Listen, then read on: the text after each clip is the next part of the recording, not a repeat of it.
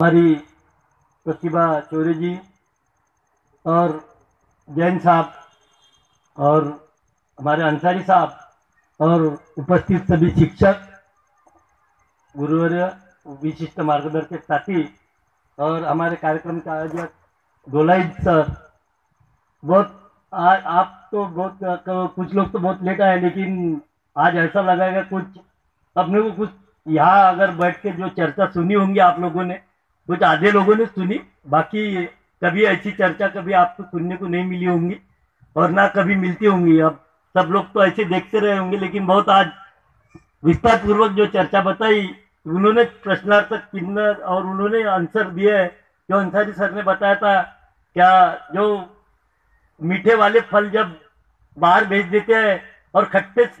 फल जब यहाँ अपने को खाने को मिलते तो उससे मतलब ये नहीं होता इस बात पे मेरे को बहुत बड़ा आपको विचार करना है कि जब अच्छे अच्छे शिक्षक संस्था में से जब चले जाते हैं, क्यों इसका मतलब यह है कि संस्था वाले भी उतना पगार नहीं दे पाते, इसलिए वो शिक्षक चले जाते हैं। और शायद यही मतलब उनका आंसर था, क्या मतलब जब मीठे फल आप बाहर भेज देते तो अच्छे खट्टे फल फिर आपने को खाने को मिलते हैं।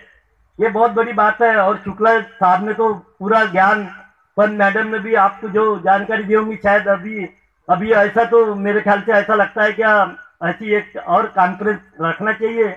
और सभी शिक्षकों को यहाँ बुलाना चाहिए कि जिससे हमारा दिमाग जो इधर उधर घूमते रहता है तो अभी कहीं मतलब अपन उधर ध्यान दे। ये बहुत अच्छी बात है, शायद मैंने कभी ऐसा कॉन्फ्रेंस सुना नहीं होगा और ऐसी कभी अच्छे लोग विचार जो अभी आपने शुक्ला जी ने, मैडम ने जो बताया, वो अंसारी सर ने भी जो बताया, शायद ऐसे सुनने को नहीं मिल रहा होगा। लोग फालतू जगह लगे तो अपना टाइम बर्बाद करते रहे होंगे।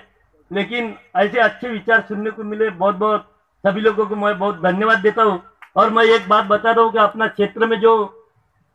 विकास हुआ है, शिक्षा में, हमारा क्षेत्र बहुत आगे है। लेकिन बात यहाँ तक आती है क्या, हम यहाँ ज़्यादा से ज़्यादा बारहवीं तक ही शिक्षा मतलब अच्छी है यहाँ पे। उसके आगे जो पढ़ाई के जो कोर्स आते हैं, आप लोगों ने जो